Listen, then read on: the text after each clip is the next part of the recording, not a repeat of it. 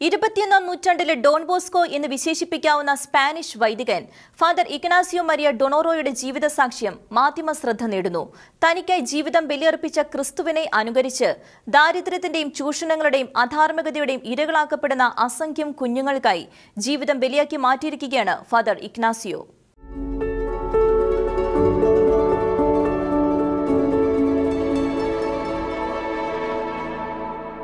Military chaplain എന്ന civil ഗാർഡിലെ ആദരണീയ പദവിയും ജന്മനാടും ഉപേക്ഷിച്ച് ദരിദ്രരും അവഗണിക്കപ്പെട്ടവരും ചൂഷണങ്ങൾക്ക് ഇരകളാകുന്നവരുമായ കുഞ്ഞുങ്ങൾക്കായി പെറുവിലെ വനാന്തരീക്ഷത്തിലേക്ക് കുടിയേറിയ ഫാദർ ഇഗ്നാസിയോ ഇന്ന് ക്രിസ്തുവിന്റെ സ്നേഹത്തിന്റെയും കരുണയുടെയും ജീവിക്കുന്ന പ്രഘോഷകനാണ്.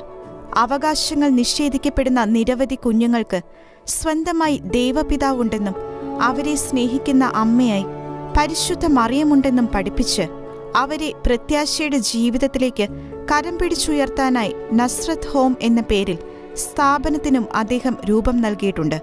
രണ്ടായിരത്തി രണ്ടിൽ എൽ സാൽവദോറിൽ സ്പാനിഷ് നാഷണൽ പോലീസ് മിഷന്റെ ഭാഗമായി കടന്നു ചെന്ന ഫാദർ ഇഗ്നാസിയോ സാക്ഷ്യം വഹിച്ച മനസ്സാക്ഷിയെ ഞെട്ടിക്കുന്ന ഒരു കുടുംബത്തിന്റെ ദുരനുഭവമായിരുന്നു അദ്ദേഹത്തിന്റെ ജീവിതത്തിൽ വഴിത്തിരിവായത്.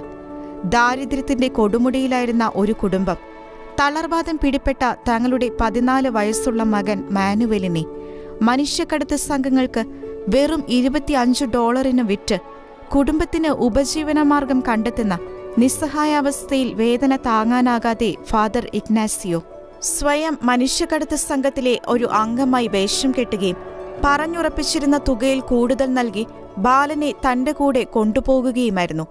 മാനുവലിന് വേണ്ട ചികിത്സ നൽകി അവനെ തളർവാദത്തിൽ നിന്ന് പോലും കരകയറ്റിയ ഫാദർ ഇഗ്നാസിയോ.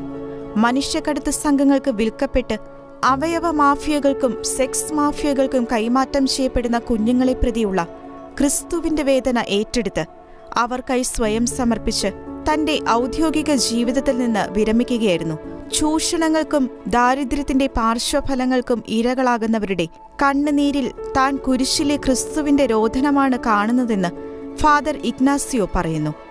രണ്ടായിരത്തി പതിനഞ്ച് മാർച്ച് പതിനാലിന് മാഫിയ അംഗങ്ങൾ ക്രൂരമായി അദ്ദേഹത്തെ ആക്രമിക്കുകയും മരിച്ചെന്ന് കരുതി അദ്ദേഹത്തെ ഉപേക്ഷിച്ചു പോകുകയും ചെയ്തതുൾപ്പെടെ നിരവധി പ്രാവശ്യം അദ്ദേഹത്തിന്റെ ജീവന് ഭീഷണികൾ നേരിട്ടിട്ടുണ്ടെങ്കിലും അനേകർക്ക് ക്രിസ്തുവിൽ പിതാവായി ജീവിക്കുന്നതിൽ പൂർണ സംതൃപ്തിയോടെ മുന്നേറുകയാണ് കർത്താവിന്റെ ആ ധീര അഭിഷിക്തൻ.